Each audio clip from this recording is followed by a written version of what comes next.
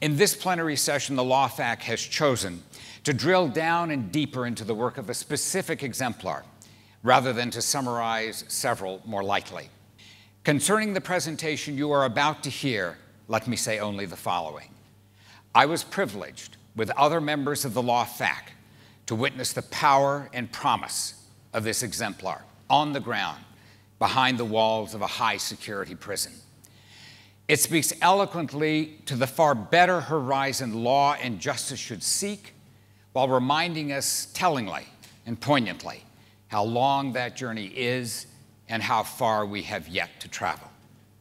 That in this century, surely justice must promote restoration rather than only retribution.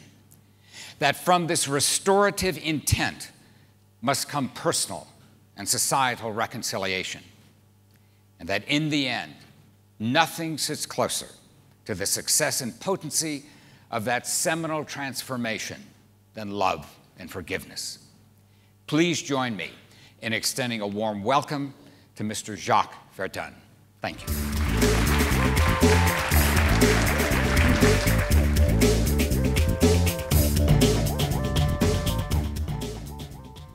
Good morning. Um, I would like to uh, thank the Fetzer Institute for uh, supporting love in action. Let's just put it simple. And I would like to thank the FAC committee, the law committee as well. Um, these aren't lawyers. You know, we have different feelings about lawyers. These are warriors for justice and um, working in all kinds of terrains and standing up for justice often means standing alone. So I'm the director of the Insight Out nonprofit organization. Insight Out does three things. It has pioneered innovative prison rehabilitation programs. It's uh, leading the movement in prison reform. And it's also supporting a unlikely posse of bodhisattvas, namely former life sentenced men that are going out giving back to the communities they've taken from you know, teaching what they've learned on their side of the pipeline to um, youngsters on the other side of the pipeline. So 17 years ago, I went into San Quentin State Prison to do an experiment. I wanted to know if love, forgiveness, and compassion would hold up in a maximum security hellhole where you know, there's 720 plus people on death row. 17 years later, I'm happy to say that with the help of a squadron of hundreds of volunteers and many other organizations, San Quentin, though still a notorious prison, uh, has also become a beacon of light. It's a place where healing happens. It's a rehab university, and it is a place that has transformed violence and suffering into healing and learning. And I would like anybody who is interested um, to be, feel welcome to come visit us at San Quentin. I've developed a technology of transformation called Leaving Prison Before You Get Out. Uh, that relates both to the prison that we're all doing time on, the one between our ears, as to uh, a very practical approach to healing and learning. Um, it's meant as not just a geographical fact, as you know, which side of the prison gate am I, but very much as a state of mind. Viktor Frankl talked about the last human freedom, which is that they can take anything away from you, everything away from you, except one thing, which is your ability to choose your response no matter the circumstance. And so this is the basic principle under the program. And when the men graduate, they graduate from being offenders into being servants. So when I told the man that I was coming here to uh, speak to you, they said, How are you going to do that? How are you going to be able to talk about what we do in here? And so they resolved to make a short film, a, a video clip. It's made by them, it's edited by them, it's probably the roughest cut uh, of the conference, um, but it's from them to you. We're basically taking 52 weeks to study a moment that sometimes happens in less than a second. Right? So there's a real strong commitment here to learn how to stop our violence. being so young and never get a chance to know who yourself is. So to come back and get took back to your authentic self and recognize him for the first time also help you break that cycle. I remember you saying that writing a letter on unfinished business and that I'm writing a letter to myself at the age of 16. Dear Payne, I have a lot to express as 20 years have passed between us. I am ashamed for the pain and suffering I have caused you due to the decision I have made. I acted out carelessly without consideration for self, family, and community. Growing up as a youngin in our household, we had witnessed violence beyond measures. Dad was an abusive and authoritative man. I can't recall father beating mom. I was too young and afraid to help. Over those years, these traumatic, traumatic events caused me to become powerless, and when I left home, I felt helpless and angry. And to restore my sense of power in my life, I joined the gang. The gang life seems wonderful on the surface, but emotionally and mentally, I was drowning. I was too ashamed and fearful of the problems at home. I am glad you have the courage to, to look at our darkest secrets and allow these painful emotions to manifest itself. I know you, you will never make the same mistakes I have made. Enjoy life and don't be too tough on yourself.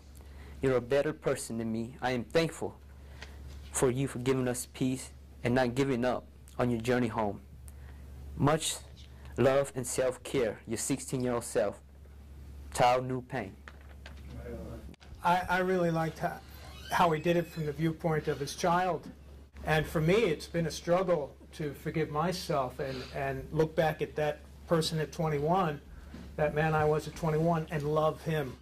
For what I did, it's hard for me to forgive taking another man's life. And it's hard for me to look back at what I was at that point when I committed my crime. To be able to look deep within and and examine yourself like that, that takes a lot of courage. And uh, me, myself, I, I, still have a lot of unfinished business, uh, and you know, because I'm responsible for taking a person's life as well. So it's, I think it's very important that you, you know, for one to be able to do that, and and to just, you know, and mean it. That's that that says that speaks a lot. I'm gonna go around and ask each one of you how much time you've served. 15 years. Altogether, 13 years. 24. 17. 27. 27 years served? 23. 24. 14. 277 years served. Almost three centuries in the room between 14 people. So this letter is in response to Jacques' prompt to unfinished business and uh, a letter to your father. The last time we spoke, you were going in for surgery. I was six years old at the time. Dad told me I was a mistake. Tomorrow never came for Dad. He died on the operating table. I was not mad or upset with my father. However, I'd be lying if I said Dad telling me I was a mistake didn't affect me emotionally or take an emotional toll on me. I did not fully understand the impact of those words until I was much older. I now realize who I have become is a direct result of that moment in time. It was not until I joined the Marine Corps that I felt as if I belonged to something. I felt a sense of family for the first time. I spent the rest of my career trying not to let that family down. Mike was my unit commander. I guess you could say that I looked up to him as a surrogate father, a father that did not think I was a mistake. My entire team was killed on our last mission, to include my cousin Dave, who died in my arms. 128 missions, and on the last op, every one of them gone. My entire family, five men who I had known for over 20 years and served with for 10 of those years, gone in less than 90 seconds. So I walk around with a mask on, a facade. To do otherwise would mean I would have to face the reality that I felt so many people on so many levels. And as I sit in my cell at night, I can't help but think about what my dad said. You were a mistake. Listen to somebody like this gentleman who just read that letter. Uh, I've never heard more insight in my life than what I heard right there. Uh, that's what this group has, has done. It's, it's, it's taught me how these things are all, like, listen to him read that letter, that's connected to me. Uh, everybody's personal response to that letter, that's connected to me. I feel every response. It's just, it's a, it's an empathy thing. It's, it's, it's incredible. What I'm getting out of this class is, is how to uh, stop my violence. I grew up uh, in a violent uh, atmosphere, and it's teaching me how to, to be aware of my feelings and to know when I'm triggered, uh, uh, when I'm begin to lose it or go get out of control.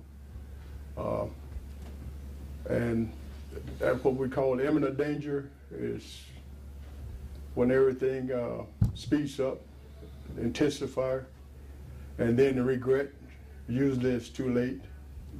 So I'm able to uh, catch it before they get too far. How long were you in that particular one moment? About tenth of a second. I would say a minute or less. Five seconds? Okay. Two, three? Three. Oh, two minutes. About three minutes. Three seconds. 10 seconds. Four seconds. Two seconds. 10 seconds. 30 seconds. About four minutes. So we have 277 years on this end, almost three centuries. We have 18 minutes and three seconds in this end. Those 18 minutes, we could never, we couldn't get that, that back. We can't bring that back. Right? But if you do the work in here, becoming emotionally intelligent, of learning how to stop your violence, learning how to be mindful and make wise decisions, you're helping people you've never met and never seen. There'll be youngsters that are challenged in their situation on the other side of this pipeline that you could reach out to and say, let me teach you what I've learned on my side of the pipeline.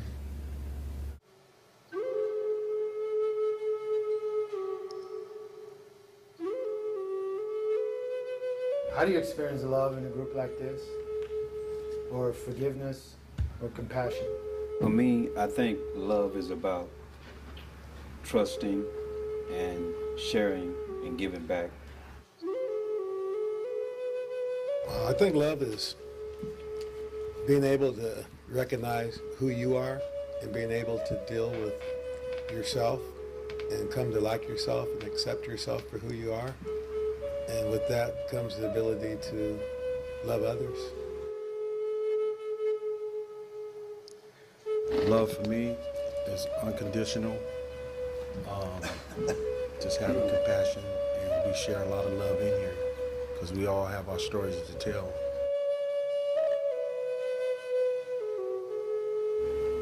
This group is like a chain, and feeling that I'm a link to that chain gives me the ability to love myself as a link and love each and every other link in this chain.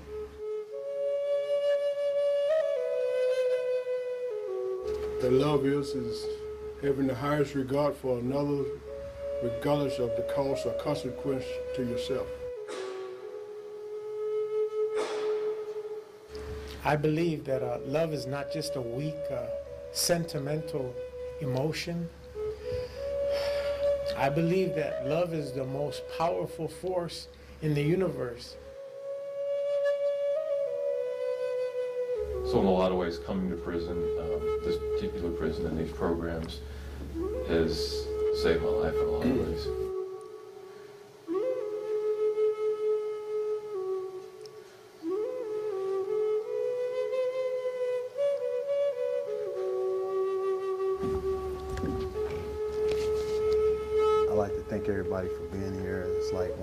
Family. Oh, thank you.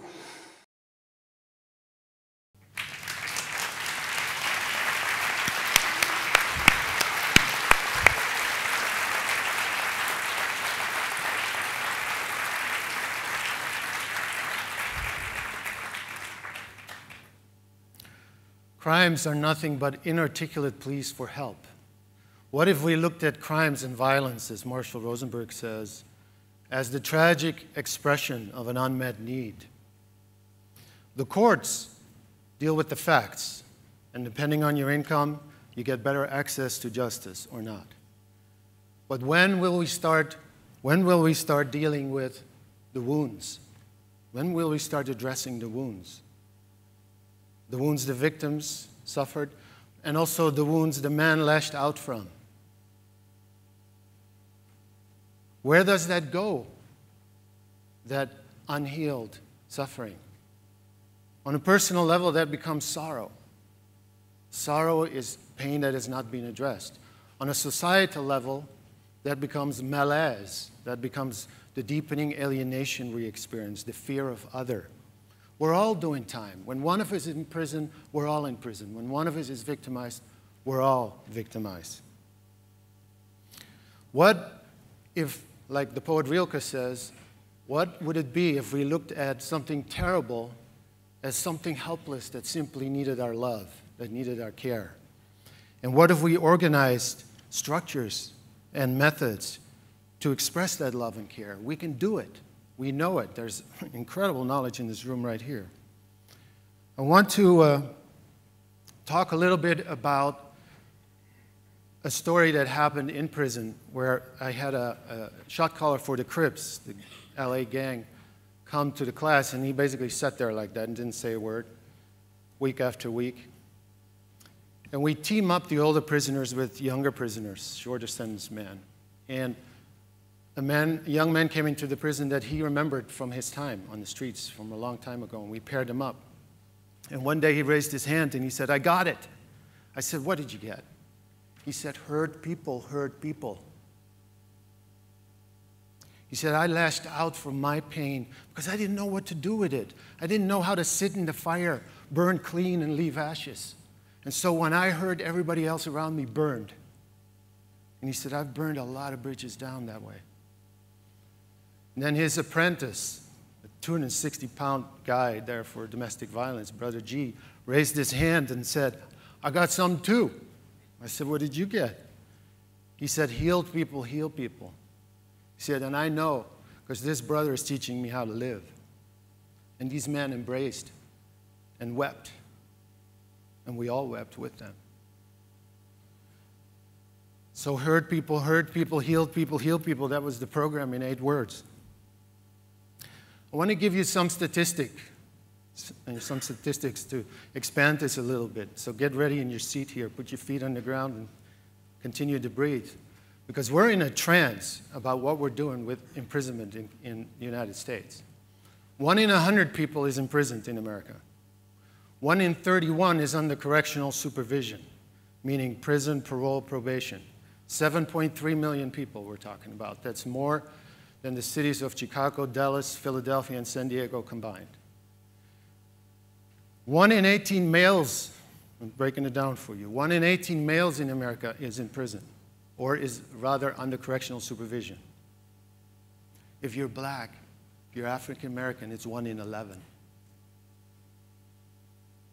It costs $50,000 in California to spend a year in prison. That's room, board, and tuition at Stanford. 67% comes back within 18 months. There are no programs. If there's programs, it's because the nonprofits do it. So there's some more serious stats as well. We have 73 13, 14 year olds tried as adults and been sentenced to die in prison in America. There are more than 500 people in the sunny state of California that have been in solitary confinement between 10 and 28 years. We're in a trance about this. We need to wake up and begin to address this because we are all doing time. So, in terms of the part of doing time between the years, we've learned a few things in San Quentin. This is the more spiritual resourcefulness that has developed over the years. So, what are some of the things we've learned? We've learned that entering the, human, the, the mortal coil, the human condition, means you enter a contract to learn how to listen. Uh, Tillich said that the first duty of love is to learn how to listen. And so we've, le- we've learned to listen deeply. We've learned that our sentience, our feeling awareness, this embodiment, is, has an inherent capacity for wisdom if you just know how to tune into it. Something that sits under all the religions, perhaps profoundly expressed by the Carrara marble statue in front of the church with the pregnant lady with the world in her lap. We've learned that love is not just a feeling, but that it's a quality of being present. And we've learned that just as you bond when you have a child, when you bring in a life, there's a bond when you take out a life. And that you can engage it. It's not for everybody, but some of the victim work we do is, is extremely effective. I got a call one night from the Attorney General's office if I wanted to go see a death row inmate because his victim had asked for a dialogue for a meeting. So when I read the case, I found out that this man had abducted a nine year old boy, had raped and killed him, and hung him from a tree. I went to see the man, and he denied everything. He wasn't ready, he didn't trust me. So I called the victim, Maria, a woman of 58 years old, Latino, about five foot, being a cashier in a supermarket her whole life. And she said, Well, you probably want to know why I want to see him. I said, You got that right.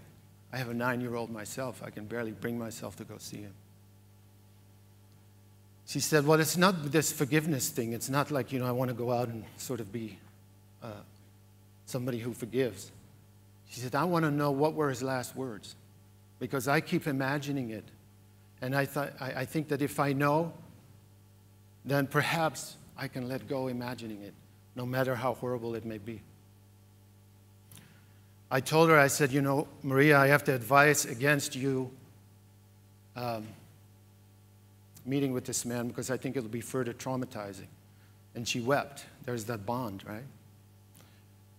I said, But I'm going to come see you.